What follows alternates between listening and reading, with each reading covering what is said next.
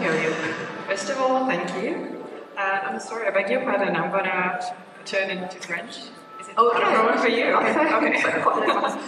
Euh, donc alors, euh, je veux remercier euh, Madame la maire de Paris, Anne Hidalgo, Monsieur le président de l'OCDE, Angèle Correa, et tous les maires présents, et mesdames, messieurs, et tous les participants ici.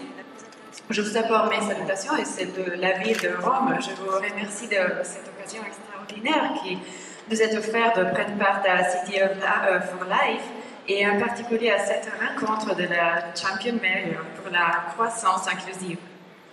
Euh, les thèmes en discussion sont, sont d'un grand intérêt pour nous. Euh, L'inclusion, l'innovation et la résilience sont des idées sur lesquelles nos efforts devraient être faits pour construire une nouvelle idée de l'avenir.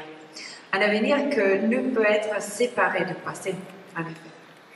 Rome a montré dans son histoire de près de 2800 années de vouloir être une ville inclusive et ouverte, capable d'absorber le flux important de personnes qui l'ont traversée, résistant à tous les stress et les chocs subis de ces invasions, mais aussi transformant ces invasions en opportunités de croissance et de changement.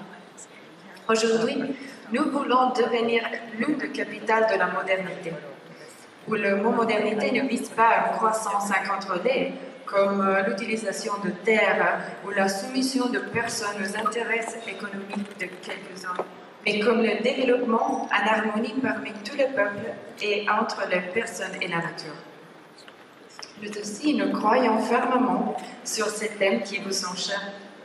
Je me réfère à l'élaboration de politiques pour faire face aux inégalités croissantes dans les villes, dans toutes les villes en effet, à la défense de l'environnement pour faire face aux changements climatiques qui sont déjà en place et pour éviter qu'ils ne dégénèrent. Voilà donc la raison pour laquelle nous menons une bataille culturelle. C'est ça euh, la, première chose, je crois. Une bataille culturelle pour l'inclusion et contre la consommation de, incontrôlée de, de terre et des ressources. Dans le même temps, nous travaillons avec conviction vers l'objectif de zéro déchet. Nous sommes aussi engagés à redessiner notre ville favorisant les transports en commun, les piétons, les cyclistes, au nom d'une meilleure qualité de vie et de la communauté entière. Un autre, aspect, euh, un autre aspect qui nous est très cher est la préservation du territoire.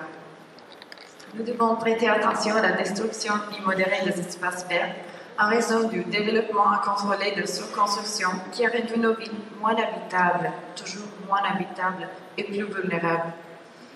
Rome a reçu un extraordinaire patrimoine culturel et historique intégré sans doute dans un contexte de paysage urbain et rural très riche. Nous considérons tout cela comme un bien commun que nous voulons préserver et rendre accessible à tous les citoyens, pas seulement aux Romains.